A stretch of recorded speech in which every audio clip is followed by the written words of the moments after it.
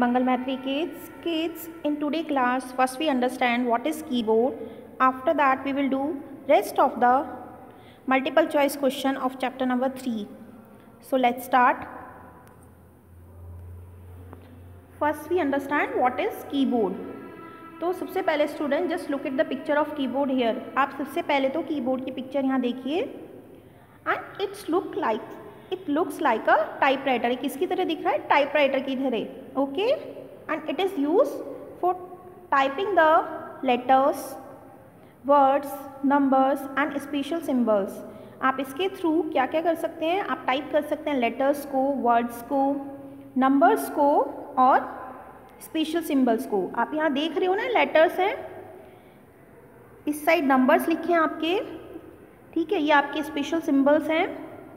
Okay तो इनके through आप टाइपिंग कर सकते हैं okay and keyboard has many keys which are called has many buttons which are called keys आप देख रहे हैं इसमें बहुत सारे बटन्स हैं, इनको हम क्या कहते हैं? Keys okay and it is a an input device कौन सी डिवाइस है ये?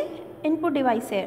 Students and standard keyboard has 104 keys एक जो स्टैंडर्ड कीबोर्ड होता है, उसमें कितनी कीज़ होती हैं? 104 okay i hope you will understand about the keyboard next we will do take the correct option or multiple choice question okay 18 is क्योंकि 18 से पहले हम बाकी कर चुके हैं तो आज हम 18 से स्टार्ट कर रहे हैं 1 टू 17 मैं आपको ऑलरेडी करा चुकी हूँ okay eighteen is the dash is the longest key on the keyboard keyboard में बच्चों, सबसे लंबी की कौन सी होती है? आपने देखा ना अभी कीबोर्ड में बहुत सारी कीज थी? अब उसमें से सबसे लंबी की कौन सी है? Okay and your option are keyboard number space bar और अल्फ़ाबेट तो सबसे लंबी की कौन सी होती है? स्पेस बार की the space bar key is the longest key on the keyboard जो स्पेस बार की होती है, वो आपकी कीबोर्ड की सबसे लंबी की होती है. Okay okay? Nineteen is the joystick looks like a dash joystick किसके थ्रू किसकी जैसी दिखती है? स्टिक जैसी. Joystick looks like a stick तो ऑप्शन डी आपका यहाँ सही है. Twenty is which of the following is not an input device बच्चों, इसमें से कौन सी आपकी इनपुट डिवाइस नहीं है? And your options are keyboard monitor mouse and joystick so we know very well keyboard mouse and joystick are the input device तो अब कौन से इसमें से इनपुट डिवाइस नहीं है? Monitor so your option B is correct twenty one is rewrite the jumble letters अभी आपको यहाँ एक स्पेलिंग दी गई है, जिसमें लेटर आगे पीछे किए गए हैं। तो आपको इन्हें एक मीनिंगफुल वर्ड में कन्वर्ट करना है okay?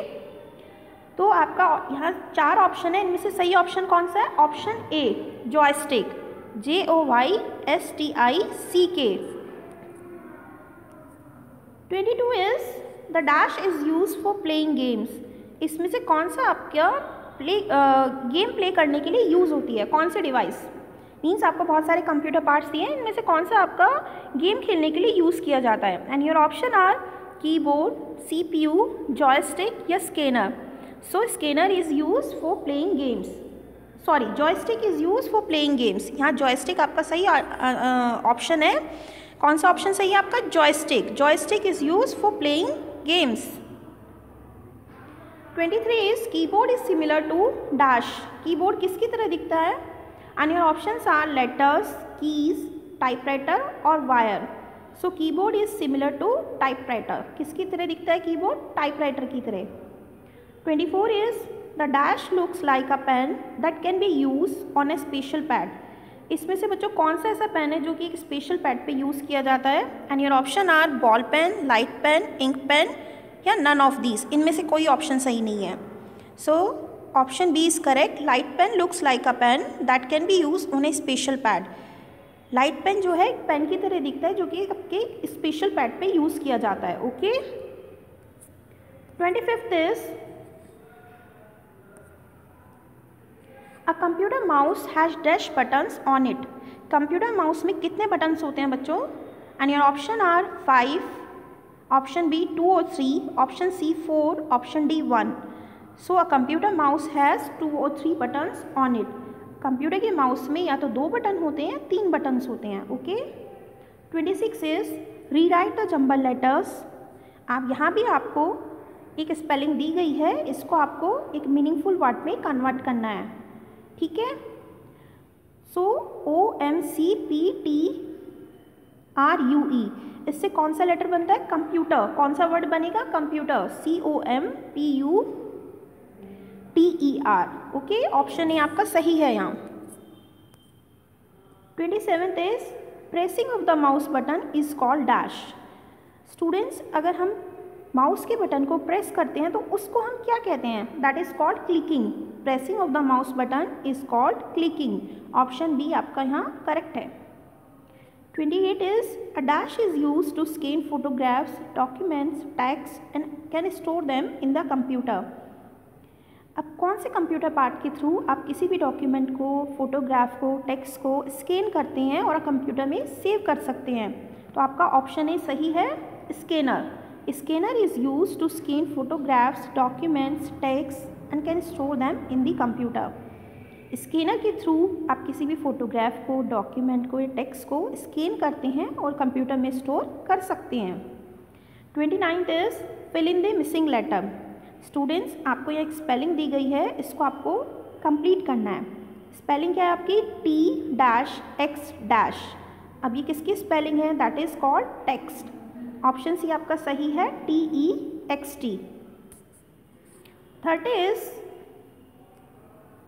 fill in the missing letter again आपको एक स्पेलिंग दी गई है। आपको इसको कंप्लीट करना है। स्पेलिंग क्या है आपकी?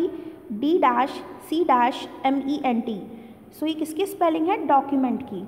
ऑप्शन भी आपका सही है। D O C U M E N T okay thirty one is rewrite the jumble letters आपको एक स्पेलिंग दी गई है। इसको आपको मीनिंगफुल वर्ड में कन्वर्ट करना है। U M N E R B तो ये किसकी स्पेलिंग है? नंबर की। N U M B E R option B आपका करेक्ट है। Thirty two is rewrite the jumble letters E L double T R E इस स्पेलिंग को आपको मीनिंगफुल वर्ड में कन्वर्ट करना है ओके तो ये किसकी स्पेलिंग है? Letter L E double T E R option A आपका करेक्ट है। So today your work is you have to do please tick the correct option in your notebook neatly. Okay students. Thank you.